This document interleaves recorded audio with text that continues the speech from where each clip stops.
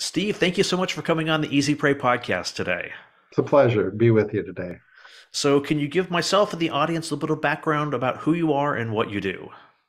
Sure. I'm uh, retired from the Federal Trade Commission, where I worked for 34 years running the uh, Midwest region in Chicago. And since retiring, I've also done some in depth studies uh, for the Better Business Bureau on common frauds that people encounter every day.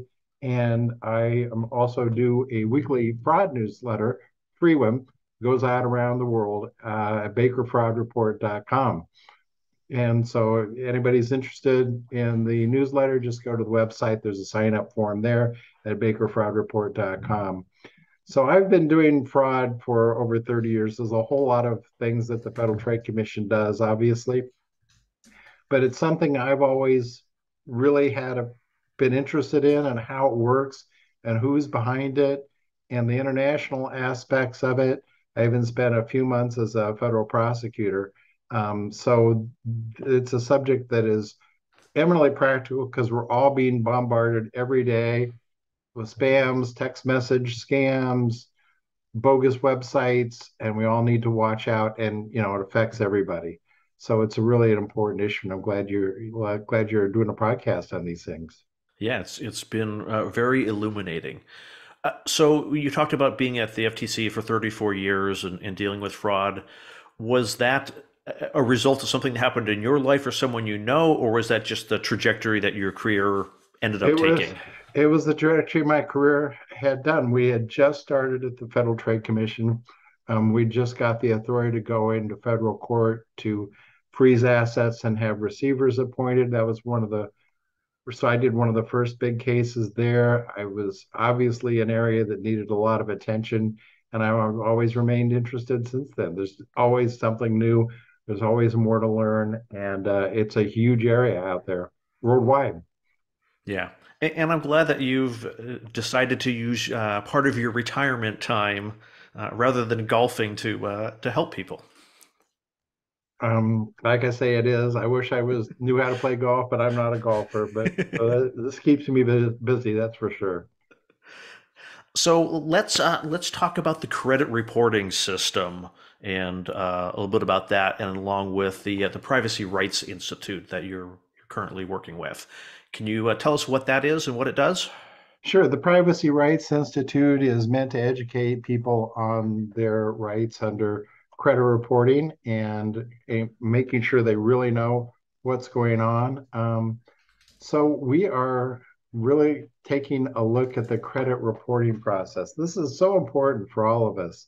I mean, people talk sometimes about big data, the worry about data brokers are going to pull this information together us. That information is already there and has been. And I don't think people realize just how extensive this is because every time you pay a bill, every time you apply for a loan, use your credit card, all that information gets reported to one of the big three credit reporting agencies and they compile it into a credit report and there are all sorts of people who can pull credit reports about us and learn about what we're doing in ways that are really going to affect our lives. For example, if I go to try to rent an apartment, they're going to, before they issue a lease, they're probably going to pull a credit report to see have I paid my bills on time? Um, have I filed for bankruptcy before? Have I got judgments against me? Anything that's going to, you know, interfere with my ability to lease the apartment and that information is available for a few, few keystrokes on basically anybody that rents apartments in the United States.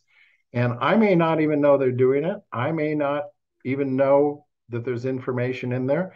And there's a lot that can go wrong with credit reports, as you'd imagine, with billions of piece, pieces of data from hundreds or thousands of co- companies reporting in different forms to the credit reporting agencies errors can and and do work out. And there's also issues with unauthorized access which leads to identity theft which last time i looked was the number one source of complaints to the federal trade commission mm-hmm. that happens a lot unfortunately so the yeah go ahead so, so what kind of uh, data and information is on the credit reports that entities can get a hold of well So the people that provide the data are called furnishers. So basically, anybody you pay a bill to, whether it's Joe's Furniture down the street where you bought a couch, or you're paying your credit card bills, paying your mortgage, um, uh, any any other credit, that information is all going to go back in.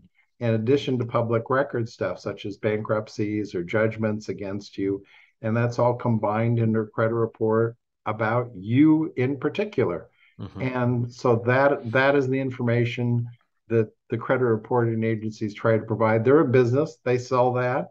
I mean, it's a good system in many ways. I mean, so in the United States, I can go to a car dealership with just my ID, um, decide to buy a car, drive it away, probably even finance it, and I don't have to bring in any financial documents at all. But the reason for that is because, and the reason for that is that they've got my credit report. So they know what's in it and they can make a pretty good judge on whether I'm just a thief, somebody stealing the, the car or not. Um, on the other hand, um, that information, like I say, is can be cumbersome to compile and errors can creep in and some of the credit reporting agencies have had major data breaches and like I say, I don't, I may not know what's going on. So, where does it go wrong with respect to bad data and things about us that might not actually be correct? Well, several things can happen. Um, first of all, um, they can mix mix up uh, the data with other people. So there could be two Chris Parkers in the same apartment complex, same name, they get the files mixed up and they get confused. I mean, they try to keep us straight with social security numbers, but not everybody requires those. And sometimes those don't get reported. Um, in addition, the people providing them with the data may be making errors. Mm-hmm. For example, Apple had a big issue a year or two ago where they were referring to all of their former employees as associates, which were not people's job data. So people were applying for jobs. The companies looked for verification of their income and salary and their job titles and like look this person says they did x but this says that they were just an associate hmm. so they must not have been a very serious employee and there was a class action over that and the other other data from the furnishers may end up being accurate inaccurate. And the problem with that is that um, you don't even know it that they were what they're reporting about you. Um, sometimes they're they they're supposed to get permission first before they get verification of employment, um, but they don't always do that. And sometimes it's just fine print, so people don't even know what it is they're signing over.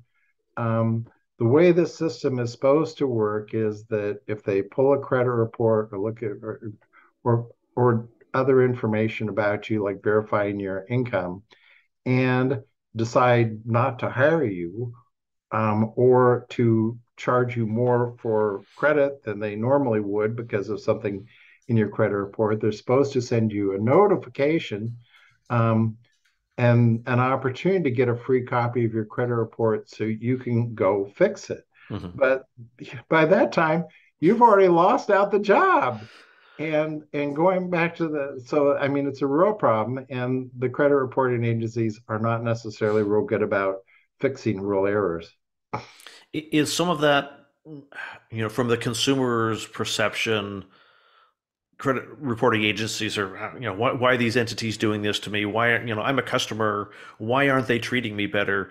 Is the issue is that we as consumers really aren't the customer and, and so maybe they don't have as much motivation to if i'm saying hey this is wrong well you're not really you know am i really their customer well i think that is a problem at one time they were leaning towards changing that incentive structure a little bit because they were charging people for credit reports. Now they've got to, so they're making money from from consumers. Um, but no, customer service is is is bad. I, I it just is. I mean, it is across the board. Automated system. It's a cost of hiring real people. People don't want to do it. and you got automated systems and and and errors happen and the feedback that comes back sometimes is is really poor for the consumer financial protection bureau says that they get more over half of all the complaints that go to them and they regulate the banks and credit card companies mm-hmm. over half of all their complaints are about the three credit reporting agencies Wow. So it is really, really huge. They've got a long history of bad customer service. Um, partly they blame that on credit repair companies, um, claiming that they're tied up dealing with all sorts of frivolous disputes, which in some ways they are. But people just don't want to spend the money.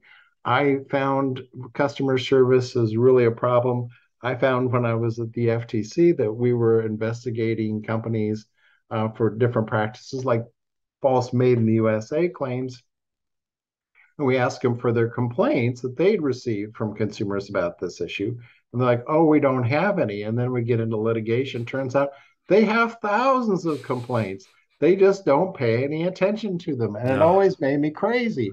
If you're a business, and these same businesses will go out and hire people to do consumer surveys and other studies on consumer satisfaction, and they've got free feedback from their own customer complaint system that's just, you know, Agnes stuck in a corner of the basement somewhere and nobody pays attention to her. And she's got all this free data inside. It always made me crazy. The companies don't pay more attention to their complaint systems than they do.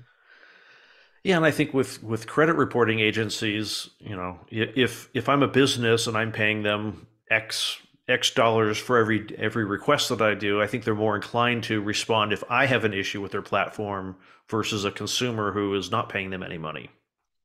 Well, that could well be. And and it's a difficult issue, but I mean real problems really do occur.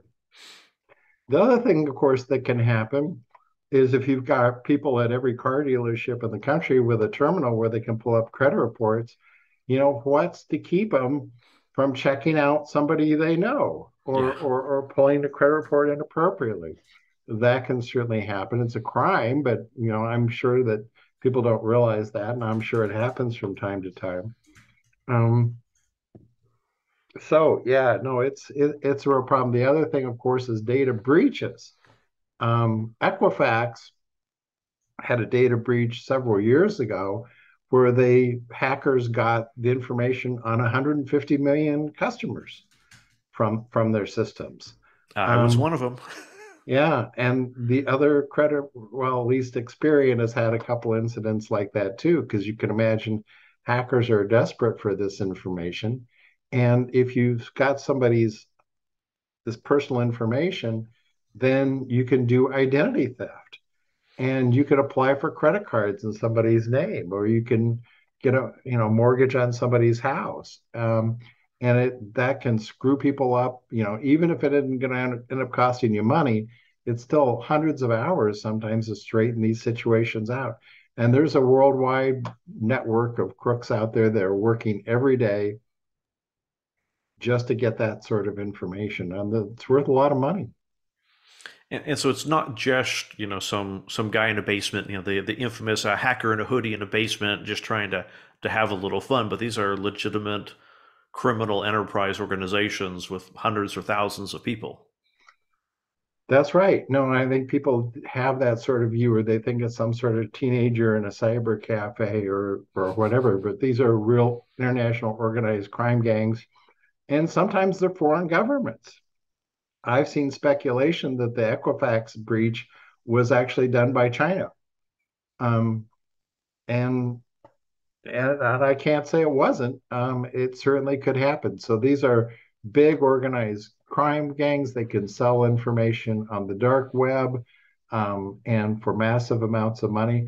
Well, the Los Angeles school system just had hackers uh, get into their system um, as a ransomware were effort where they locked up and encrypted all their data, and LA refused to pay, and now they're started taking all these records on on all sorts of students and staff and dumping them on the internet.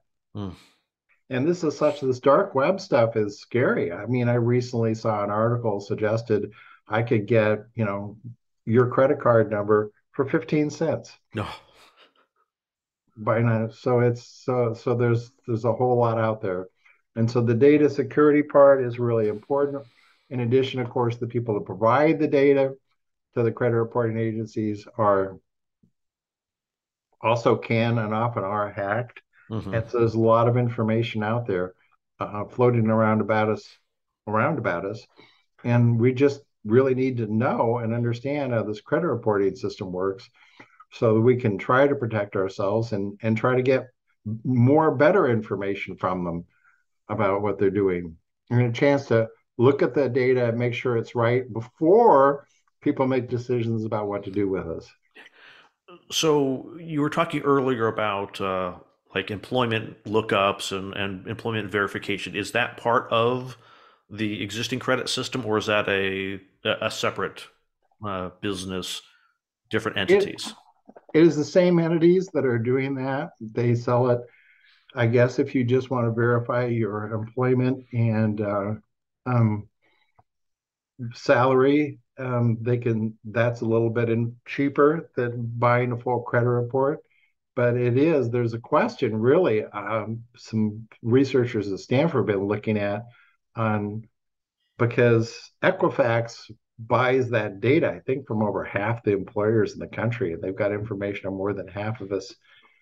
And they can sell just that information. Now, they claim they segregate that from their full credit reports, mm-hmm. but they've been a little bit iffy in terms of response, and nobody can really tell if that's really true, that they're keeping that separate or not.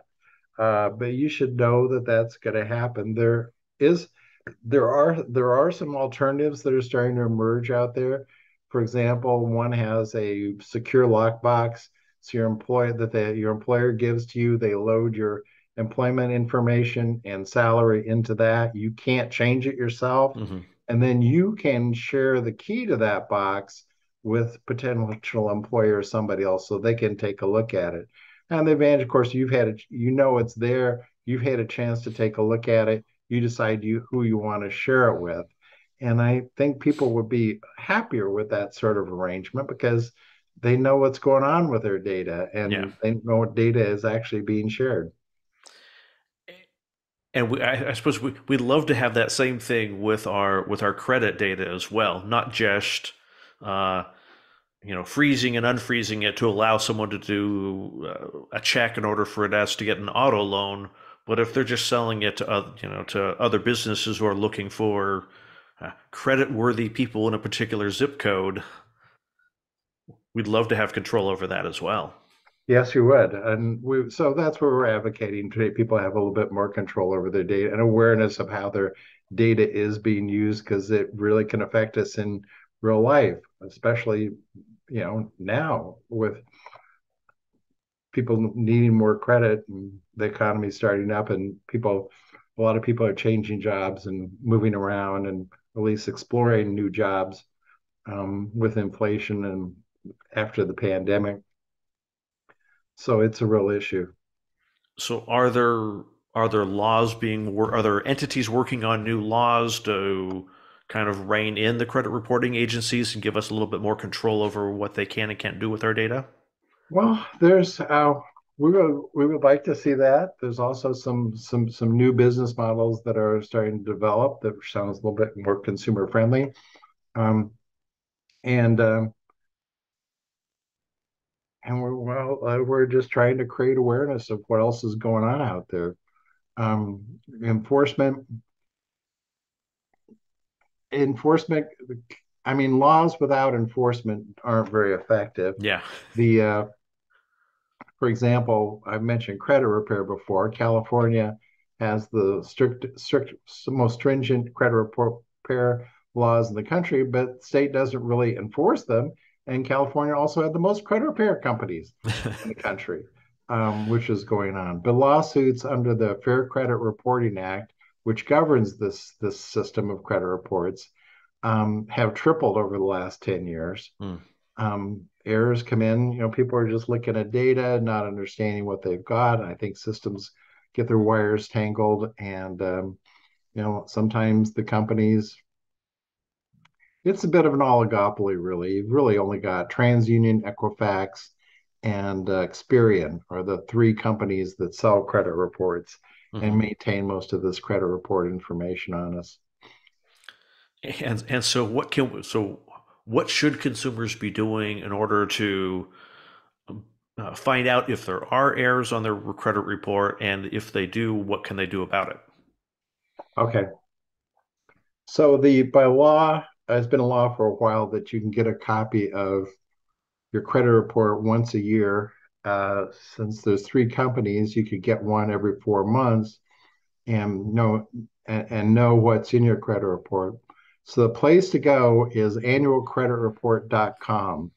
Um, that is run through the Federal Trade Commission. Uh, you can get all three credit reports there. Don't go to alternatives. I mean, the FTC actually sued one of the credit reporting agencies some years ago because they were offering a free credit report that ended up being a free subscription that you had to cancel.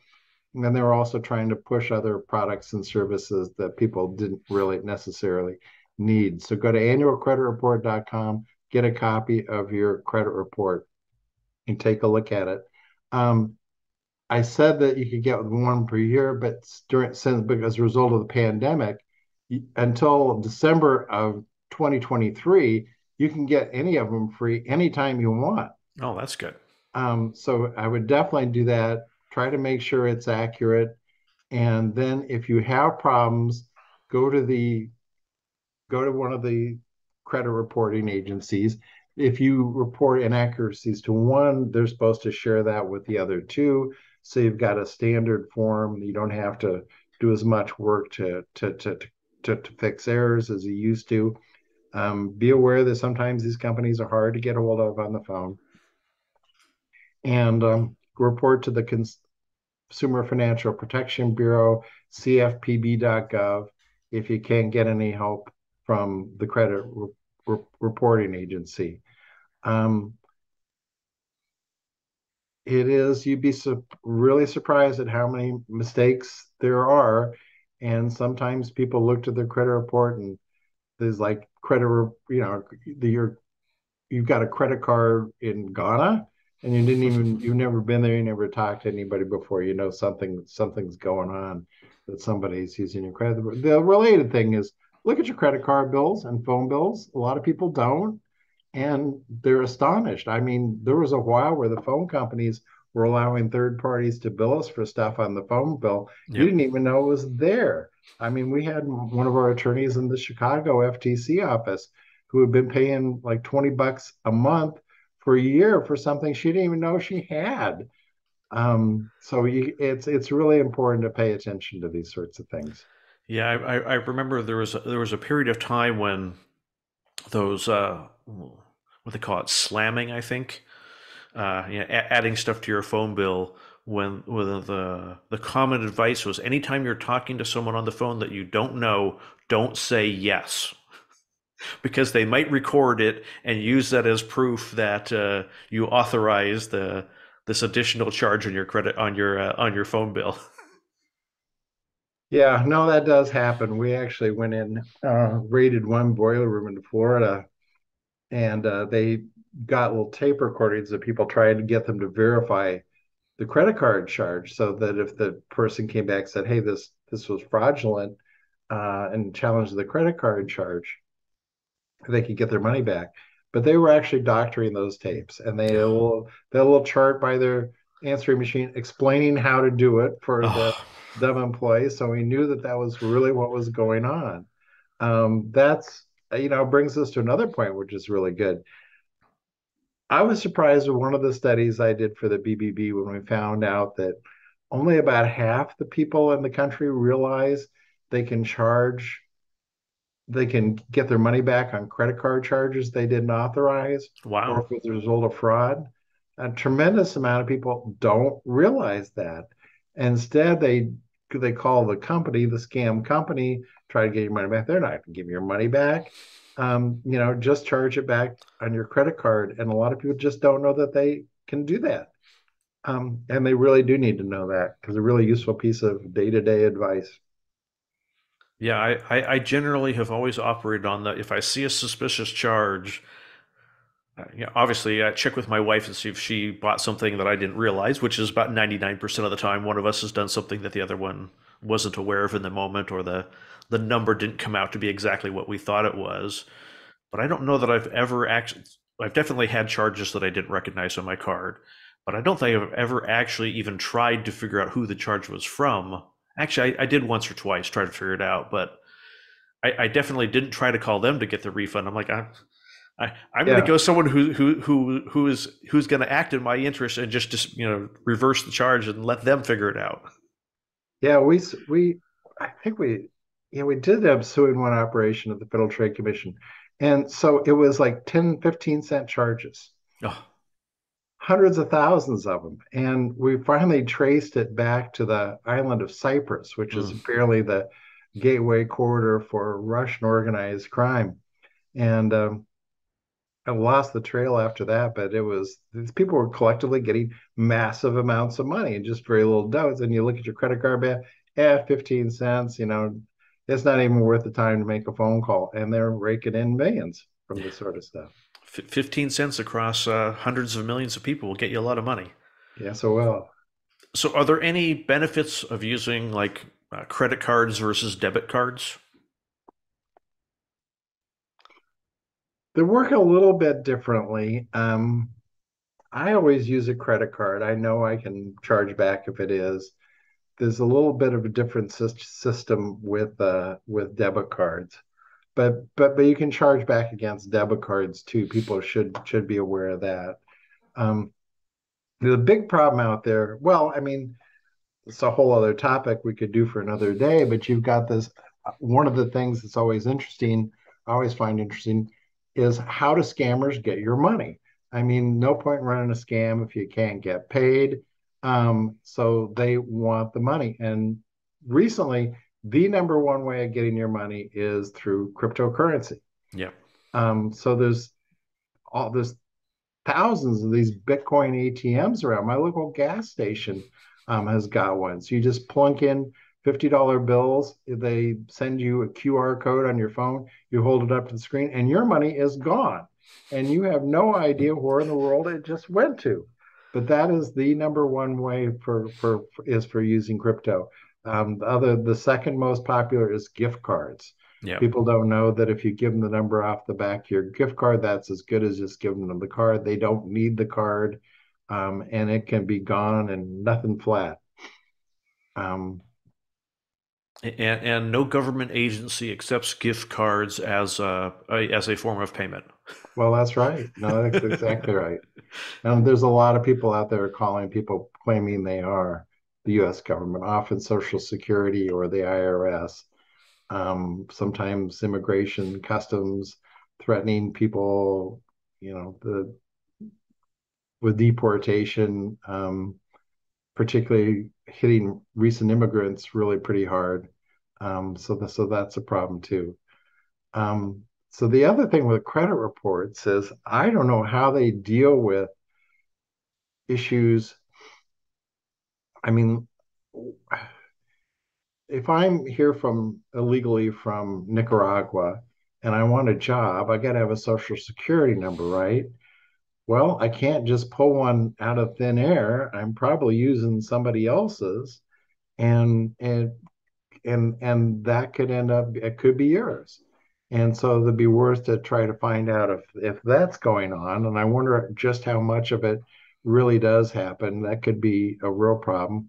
On the one hand, the immigrant is got a somebody else's social security number you know maybe they're paying into social security even though they're never going to be able to collect it i don't know that's that's a potentially massive out issue out there that doesn't get talked about mm-hmm. um, and of course the other thing that goes on is that there are government benefits like covid ppp loans or unemployment benefits and people from scammers from around the world have stolen tens of billions of dollars from those things applying online and finding people and get the money back is is is not an easy thing to do. Well, and the, and those things have protect, potential tax implications for, you know, if, if someone took out a PP loan and even repaid it or didn't, or got COVID relief funds under my name, some of those are uh, you still owe the taxes on them. Well, that's right.